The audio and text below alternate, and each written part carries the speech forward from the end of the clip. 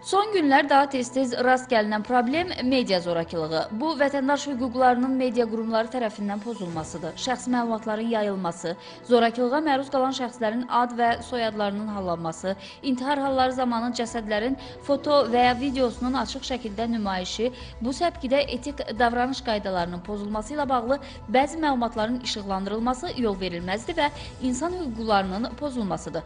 Fərdi məlumatların yayılması ilə bağlı həm Avropa İnsan Hüquqları Konvensiyası, həm də milli qanunvericilikdə xüsusi müddəalar da var. Həm inzibati, həm də cinayət məcəlləsi ilə sanksiya, məsuliyyət növləri müəyyənləşdirilir. Cinayət Məcəlləsinin 156-cı maddəsində də qeyd edilir ki, şəxsi e, həyata e, məlumat şəxsi həyatın məlumatları, yəni sir təşkil edən məlumatların deməli e, yayılması, əldə qanunsuz əldə edilməsi, toplanılması, kimlərəsə satılması e, cinayət məsuliyyətinə səbəb olur və 1000 manatdan 2000 manata qədər cərimə, 240 saatdan 480 saata qədər ictimai işlər və ya e, 6 ay müddətinə qədər azadlıqdan məhrum etmə cəzasına məhrum edilə bilərlər həmin şəxslər.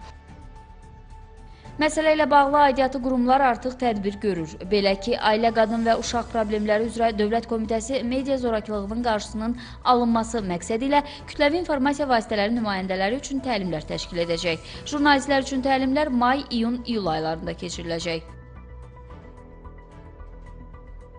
Üç qrup jurnalistlərə təlimlər planlaşdırılır. Televiziya kanalları, e, radio, ikinci qrup olacaq deyil, saytlar və eyni zamanda qəzetlər. Üçüncü qrupda sosial media, bu da dediyimiz kimi YouTube kanalları və digər sosial sahədə fəaliyyət göstərən jurnalistlərdir. Məqsəd ondan ibarətdir ki, hansı hər hansı zorakılıq, intihar hadisələrinin işıqlandırılmasında düzgün milli qanunvericilik və beynəlxalq standartlara uyğun düzgün qaydalar uyğun o məlumatların yerləşdirilməsidir. Ümid edirik ki, media kanallarının bir yerdə biz əməkdaşlığımızı davam etdirəcək və bu çərçivədə daha çox qadın və uşaq hüquqları müdafiəsinə öz töhfəmizi verəcəyik. Media zorakılığı ilə bağlı son ildə bir neçə media qurumuna və telekanala xəbərdarlıqlar edilib. Çinarə Vaqif, Şövqi Əzizov, Telesəhər.